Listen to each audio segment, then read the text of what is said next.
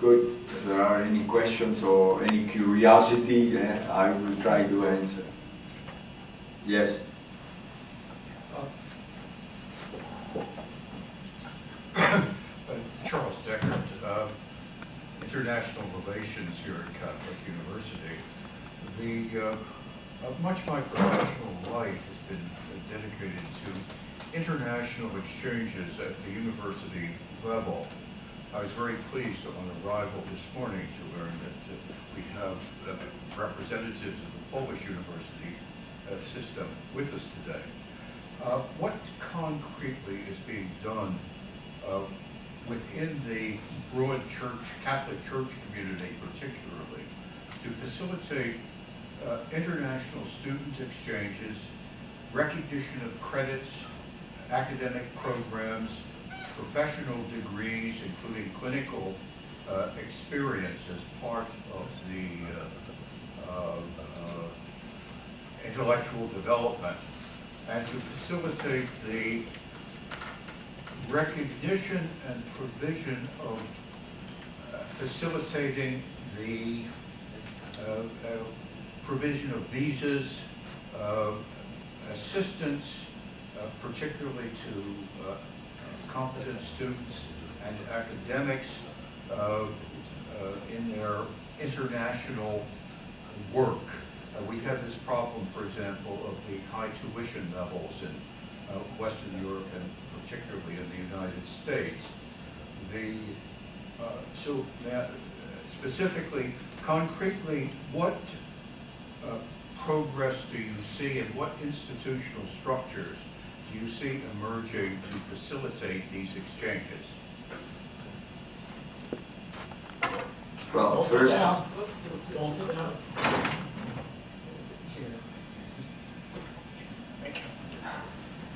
first of all, I, I, I'm not very competent on this technical aspect of, of facilitating the movement of academic personnel.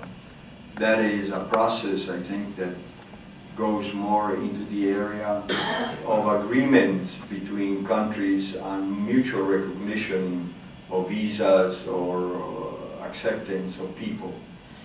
But I think that uh, UNESCO has been working to facilitate the circulation of knowledge through the circulation of, of uh, academic people. This is uh, something that needs to grow, but I think it's very complicated because on one side, there are people in fear of brain drain for poor countries. That people that are, who are prepared and qualified in Africa. There are more doctors from Mali in the United States than in Mali. eh? So there is this preoccupation that is uh, is uh, an immediate practical concern. And then the, the movement of students, I think uh, in Eu- Europe has made some progress through the Erasmus program and some other programs within the European Union, the 27 countries of the European Union. That becomes very easy now and very acceptable. Outside the European Union, say between the European Union and the United States, or between Africa and the United States, or Africa and the European Union, that's another very difficult issue because we have some cases of young, bright students going and never coming back to Africa, for example. Once they are settled outside, they don't come back, and therefore they don't contribute anything to the development of their own country. These young countries need prepare people to build up their structures and, and to improve their situation. So I, I don't know the technical aspect, but I think there are some major concerns that are still being debated. But UNESCO will be the, the way and the area where some of these problems are going to be faced, even through inter, international agreements. What about the, the Catholic community itself? Are initiatives being taken? I confess my ignorance even here. I have been arguing in Rome in one of the meetings I went uh, for um, uh, the Secretariat of State about uh, not even a month ago that we have a major resource which is the presence in the world of a network of Catholic universities. Different levels of quality, I guess. But anyway, it's a huge, huge resource.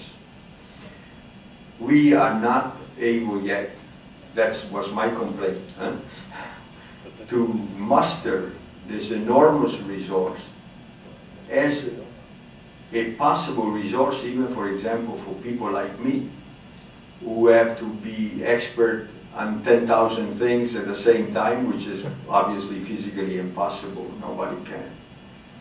But to have input from, for research, for reflection, for analysis on the part of the Catholic universities so that we can speak with competence and credibility on issues that are very difficult and very complex.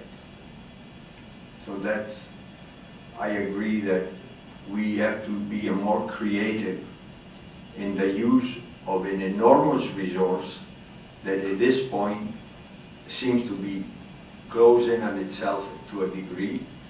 And we, we have to make it branch out and to open up, not because of the academic, Catholic academic institutions fault, but to, to link up with other form of activity, especially the presence of the Catholic community, the Christian community in the international arena.